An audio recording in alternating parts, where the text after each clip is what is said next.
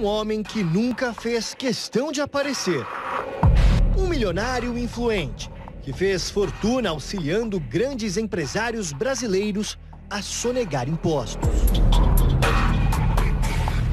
Experiente e discreto, esse foi o perfil do doleiro que teria sido escolhido por uma das famílias mais poderosas do país, suspeita de fazer operações clandestinas. Cláudio Fernando Barbosa de Souza, o Tony, confirmou à justiça que entregou dinheiro vivo aos irmãos Roberto Irineu, presidente do Conselho de Administração do Grupo Globo, e João Roberto Marinho, vice-presidente do grupo.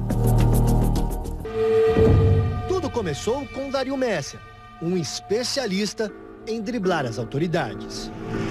Com mais de 40 anos de experiência, Messer garantia o serviço. Na lista de mais de 3 mil clientes estariam dos mais conhecidos grupos de comunicação do país, a Rede Globo. Dário Messer afirmou à justiça que milhões de dólares passaram pela portaria da emissora.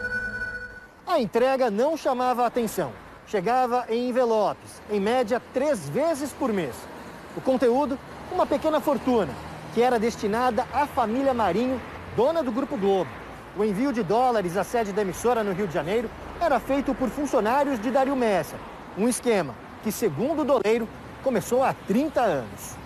O que Dario Messer contou à justiça no dia 24 de junho deste ano é surpreendente. O doleiro, especializado em operações financeiras clandestinas, prestava o serviço ilegal para dois herdeiros da família Marinho, os irmãos Roberto Irineu e João Roberto Marinho.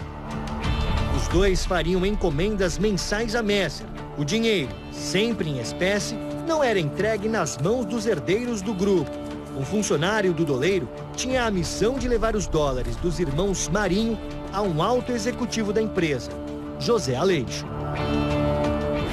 Nascido em Portugal, José Aleixo entrou para a Globo na década de 1960 e sempre atuou na área financeira do Grupo Carioca. Em 1990, mesmo período que Dario Messer afirma ter feito entrega aos irmãos Marinho, José Aleixo se tornou assessor financeiro do fundador da emissora, o empresário e jornalista Roberto Marinho. Mais tarde, trabalhou na vice-presidência da empresa. Dário Messer contou que as remessas à emissora oscilavam entre 50 mil e 300 mil dólares. Em valores atuais, entre 165 mil e 1 milhão 650 mil reais. Dinheiro que era entregue por José Aleixo aos irmãos Marinho. O doleiro foi além. Explicou ainda como os herdeiros de uma das maiores empresas de comunicação do mundo pagavam pelo serviço ilegal. A operação funcionaria da seguinte maneira: Dário Messer entregava dólares em espécie no Rio de Janeiro e os irmãos Marinho repassavam o dinheiro para o doleiro por meio de uma conta num banco dos Estados Unidos. Ou seja, os irmãos Roberto Irineu e João Roberto depositavam para Messer no exterior o valor entregue em dinheiro vivo no Brasil. Mas por que os empresários do Grupo Globo precisavam dos serviços de um doleiro? Para esse procurador da Fazenda Nacional, essa é uma operação clandestina que revela sinais de pelo menos dois crimes: evasão de divisas e sonegação fiscal.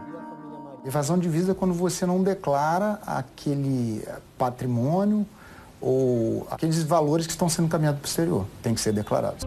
Nas contas dos doleiros, há três décadas, Roberto Irineu e João Roberto não pagam impostos pelas transações financeiras. Uma revista americana divulgou que juntos, João Roberto e Roberto Irineu têm uma fortuna avaliada em 28 bilhões de reais. Mas, segundo as revelações dos doleiros, alguns desses milhões passaram longe dos órgãos de controle e deixaram de ser declarados.